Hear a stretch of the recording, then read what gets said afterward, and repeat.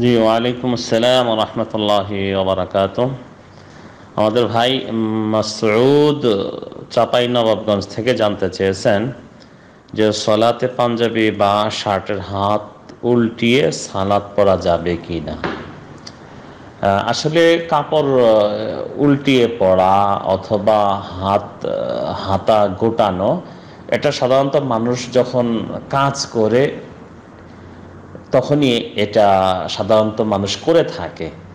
এটা দেখতেও যে খুব ভালো দেখা যায় তা না।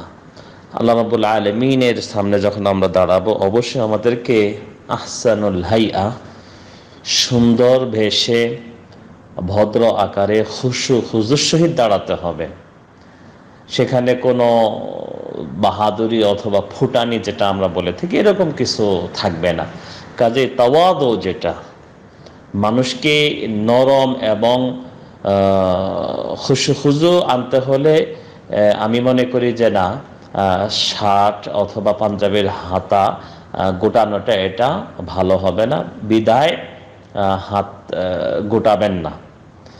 আর এমনি সালাত হয়ে যাবে, সমস্যা নেই। ওলামা ইকরামগান একে মাকরুহ বলেছেন, কিন্তু আপনি করবেন না এটা। যেহেতু আপনার শার্টের হাতা আছে সেহেতু আপনি গোটাবেন কেন? আর হাফ হাতা যদি হয়, সেটাও আপনার মাকরুহের অন্তর্ভুক্ত পড়ে যায়। কারণ শরীরের বেশ অনেকটাই অংশ খোলা থাকে, দেখতেও বেমানান দেখা যায় এবং সেভাবে আল্লাহ রবুল্লাহ আলমিনের সামনে দাঁড়ানোটাও বেমানান। সালাত হয়ে যাবে, কিন্তু আমরা সেটা করব না। কষ্ট করে সালাত আদায় করতেছি।